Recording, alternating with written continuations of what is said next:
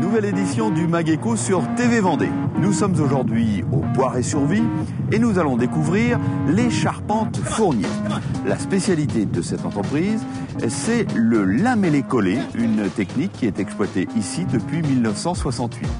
Tout sur euh, l'entreprise Fournier, des charpentes Fournier, c'est aujourd'hui le sujet de notre Mageco.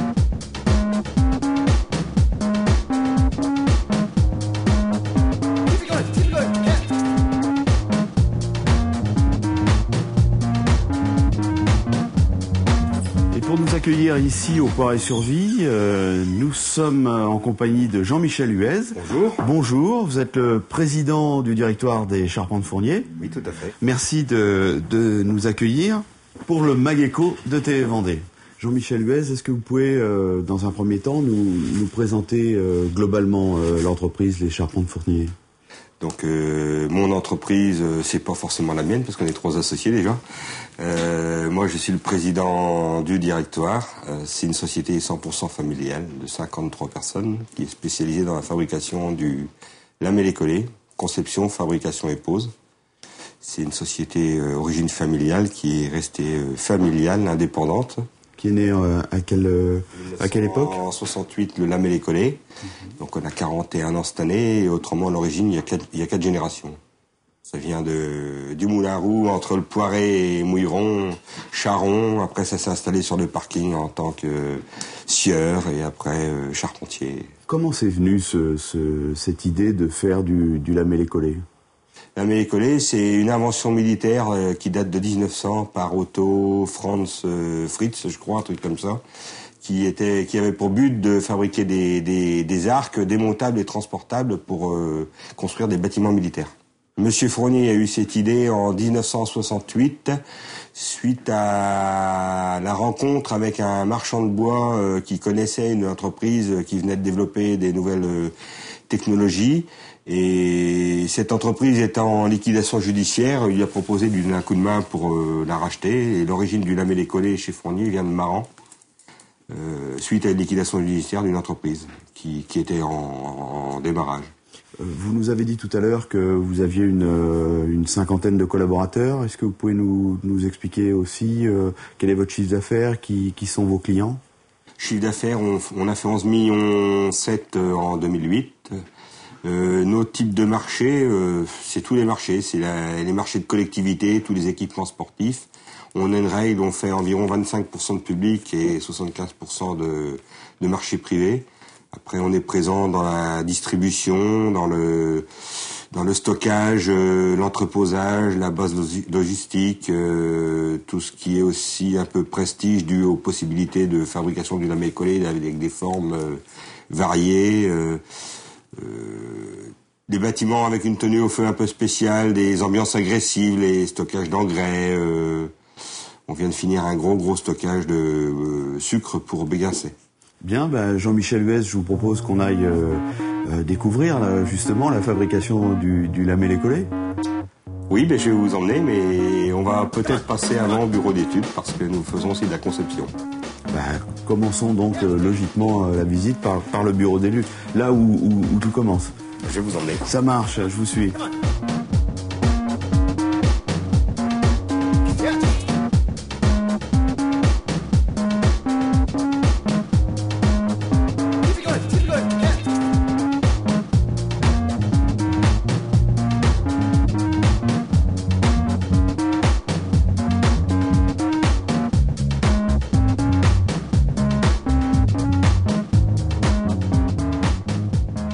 Va commencer par le premier poste, le poste de Monsieur Daniel Dufour, qui, euh, qui réceptionne euh, tous les dossiers et qui fait toutes les études techniques, dimensionnement des poutres suivant les charges et après il prépare un métré. C'est-à-dire qu'il transforme les plans en, en, en- en véritable poutre. Oui. Il, fait, il fait le lien entre les deux, quoi. Mm. Entre Le dossier architectural, euh, c'est que du design, et Daniel le transforme en, en matière. En, il construit euh, virtuellement le, la charpente sur un bout de papier. Alors, on verra tout à l'heure la fabrication, mais Oui, tout, oui. tout est possible? Tout Euh, est possible. C'est-à-dire que vous pouvez faire des charpentes de toutes les formes et de toutes les tailles? Euh, non, tout n'est pas possible. Non, non, non, non, non. Il y a déjà les gabarits routiers qui nous limitent. Et puis, euh, il y a aussi bah, la taille de, la chaîne de production. Chez nous, euh, on a une des plus grosses en France. On peut fabriquer des poules jusqu'à 48 mètres en standard. D'un seul morceau. Euh, après, ça demande des aménagements spécifiques et ça crée beaucoup de problèmes au niveau des transports. Voilà. Donc après, Daniel, eh ben, il transmet les, ses données au chargé d'affaires. Donc on a deux chargés d'affaires. D'accord. Monsieur Gardan apporte une. Bonjour. Une note financière au projet. Ah oui, c'est-à-dire qu'on l'imagine dans un premier temps. On l'imagine, on, crée, on crée les, volumes de matières premières à mettre en œuvre, tout ce qui est le mécano pour construire, et lui, il apporte euh, une touche financière au projet, c'est-à-dire qu'il estime les temps de production, les temps de montage, tout ce qui est déplacement, les nacelles, les grues, comment gérer les équipes. C'est là qu'on se rend compte que ça vaut trop cher et qu'il faut tout refaire les plans. Non, parce que là, c'est pas des plans d'exécution, c'est des plans d'avant-projet. D'accord. Voilà. Très bien. Et eh ben on enchaîne. Je oui. suis. Merci.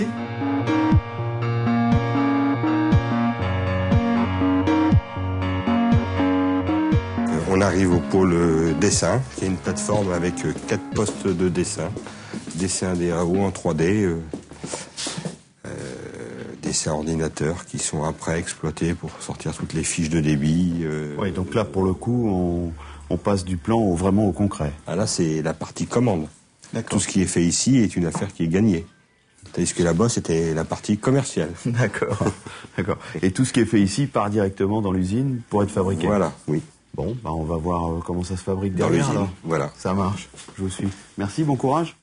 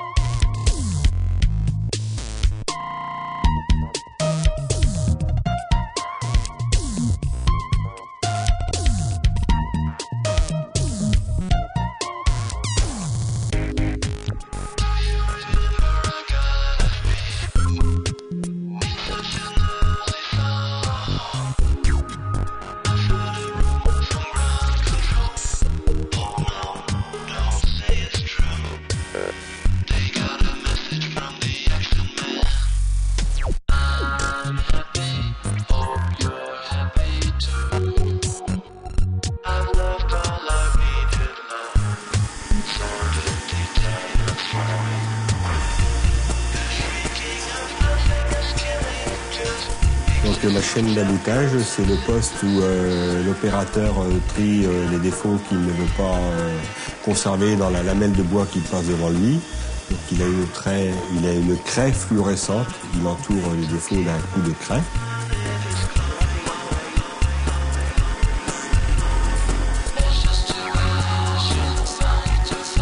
Et après ça passe sur, des rouleaux et ça passe devant une caméra qui lit le tracé et commande une scie guillotine qui coupe de chaque côté du défaut. Pour enlever, euh, pour enlever le la partie qui, possède un défaut.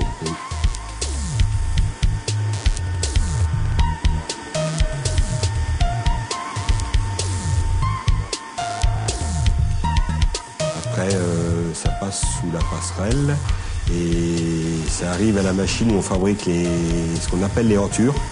C'est un genre de peigne pour que les lamelles s'emboîtent. Ensuite, nous mettons de la colle et c'est mis sous presse, ce qui correspond à une soudure, euh, l'équivalent métallique. En fait, c'est pour souder de bouts de bois. Voilà, souder, de, souder de bouts de bois. Pour préparer les longueurs de lamelles euh, à la longueur de la poutre finale.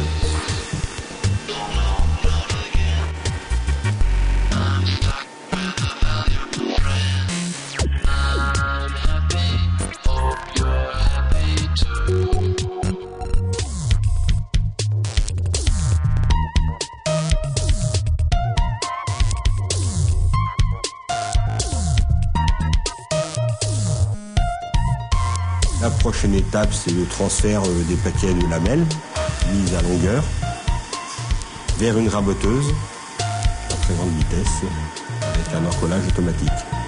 La particularité de cet encollage, c'est que c'est une colle en 8 composants, avec une application séparée, ce qui permet, euh, quand on arrête la machine, d'éviter les lavages d'encolleuse, donc euh, d'éviter la pollution et les résidus.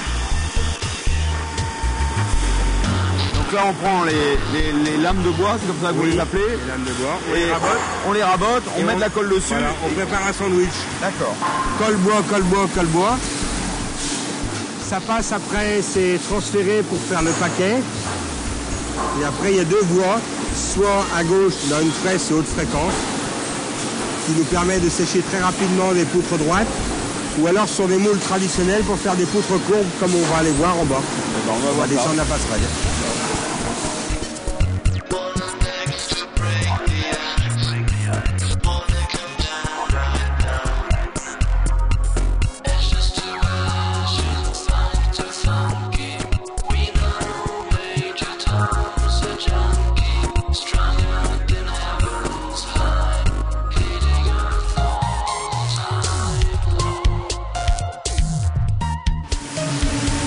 Principe, c'est qu'on a toute une plateforme en plaque métallique.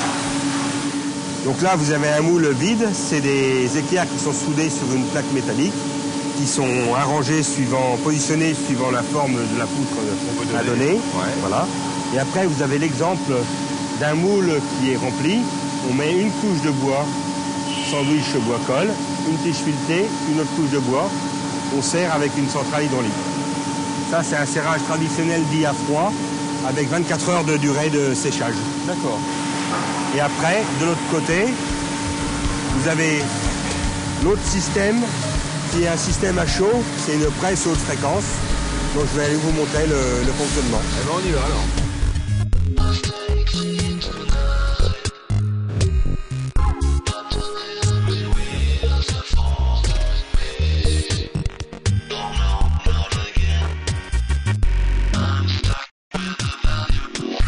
Système euh, qui agite les molécules d'eau dans la colle par euh, oscillation vibratoire, c'est-à-dire qu'on fait passer du courant. On secoue. On secoue. Ouais. C'est des fréquences, euh, je crois que c'est 10-12 000 séquences secondes. Ça agite les molécules d'eau qui sont dans la colle et ça crée un échauffement. ça fait chauffer la colle et ça sèche. Les molécules en bougeant chauffent. Voilà. Et, c'est ça qui fait chauffer la colle. Oui. Alors c'est un système qui est très très peu répandu mais qui est très productif. Euh, il n'y en a que trois en France. L'avantage c'est que ça va très vite au niveau collage parce que par rapport à un traditionnel où il nous faudrait 24 heures de, temps de séchage avant démoulage, là on sèche 3 euh, mètres entre 4 et 7 minutes suivant les épaisseurs.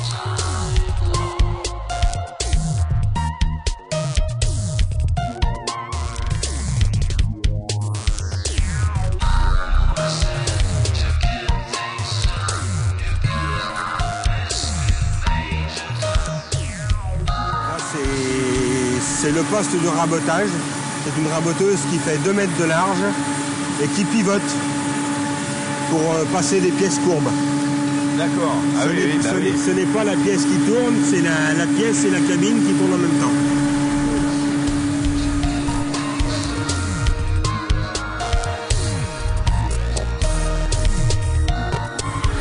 Le Mageco consacré aux charpentes fournier, on sort euh, Jean-Michel Huez de la, de la fabrication, de la production. De la production, de la collée. Et là, on entre dans un nouvel espace. Oui, qui est la partie euh, assemblage. Qui consiste à tailler les poutres, à les couper, à les percer, à les assembler, à les raboter suivant des formes courbes, soit d'une manière traditionnelle avec des épures, euh, comme on va le voir tout à l'heure, ou soit avec un robot 5 euh, axes qui fait 50 euh, mètres de long. C'est-à-dire qu'on reçoit les ordres de fabrication directement du bureau d'études. Et c'est euh, un robot multitête qui va chercher les outils et qui va percer, faire toutes les opérations manuelles, mécaniquement. On regarde ça de plus près? Oui.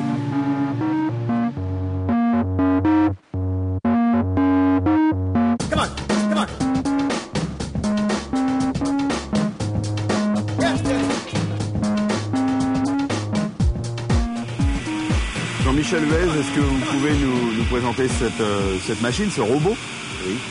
Donc ça c'est un robot euh, de taillage, 10 5 axes, c'est-à-dire qu'on peut faire tous les usinages avec dans tous les sens. Et c'est des machines, c'est des conceptions pratiquement uniques, parce que je crois qu'il y en a 5 en France, une au Canada et une en Suisse. c'est un robot qui a 16 outils embarqués et la tête vient sélectionner l'outil euh, en fonction du usinage qu'elle veut. Donc elle a des mèches, elle a des scies, elle a une mortaiseuse pour faire des entailles. Et l'avantage de cette machine, c'est qu'on peut tailler des poutres de 50 mètres de long quand elle sera finie installée, sur 5 mètres 50 de large. Et ça nous évite de retracer à la main comme c'était fait manuellement, euh, parce que chaque pièce unique devait être retracée sur la pièce de bois pour être coupé manuellement avant de, bah, pouvoir l'assembler. Parce que là, le robot, lui, il a le programme en mémoire. Il suffit de positionner la, pièce au bon endroit, bien sûr. Et puis après, bah, il, exécute. Il exécute tout seul. L'opérateur est là pour faire du contrôle. Il surveille surtout le premier lancement d'usinage pour valider le programme et après, quand il y a des pièces uniques, la machine travaille toute seule.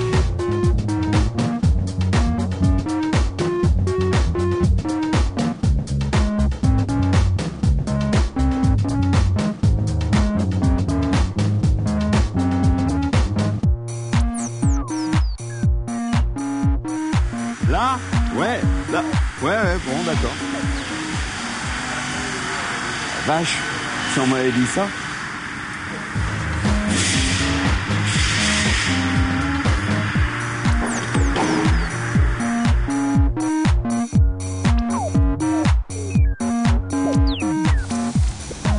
Oui, donc là, vous assistez à l'assemblage d'un poteau euh, euh, de charpente. Euh, vous avez de la chance parce que vous allez voir la fabrication et vous allez comprendre l'utilisation puisque c'est un poteau de notre extension